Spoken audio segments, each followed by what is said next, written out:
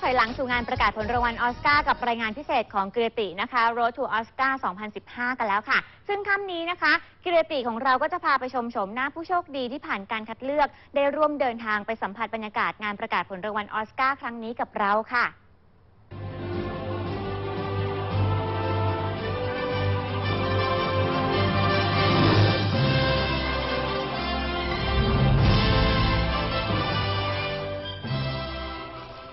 วัสดีครับสำหรับกิจกรรมไนน์เอ็นเตอร์เทนสไปทริปครั้งที่ 17 ที่เราจะเหินฟ้าพาผู้โชคดีไปเหยียบพรมแดงงานออสการ์ครั้งที่ 87 ตอนนี้เราก็ได้ผู้โชคดีไปที่เรียบร้อยแล้วครับ แน่นอนว่ากว่าจะผ่านด่านได้ไม่ใช่เรื่องง่าย ๆ เลย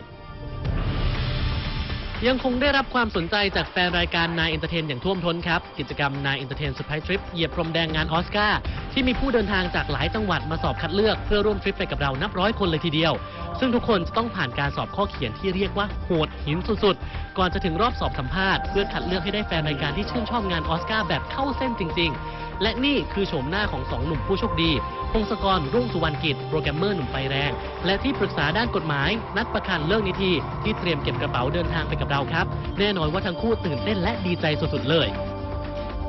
เป็นคนติดตามออสการ์มาทุกปี คือถ้าเมื่อวันก่อนเพิ่งนับนะว่าตามมากี่ปีแล้วก็ถ้านับไม่ผิดนะ17 ปีแล้วอะครับ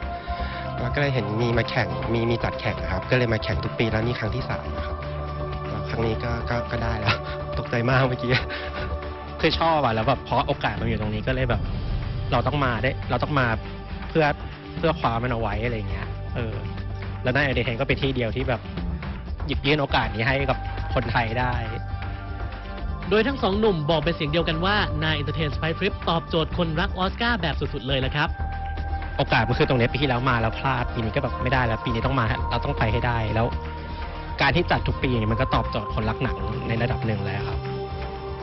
ส่วนใครนะครับที่มาร่วมสนุกกับเราแล้วพลาดไปไม่เป็นไรครับ ผมจะไปตามเก็บทุกรายละเอียดและบรรยากาศงานประกาศรางวัลออสการ์ส่งตรงมาให้คุณผู้ชมได้ชมกันในรายการไนน์เอ็นเตอร์เทนถึงหน้าจอทีวีคุณเลยครับ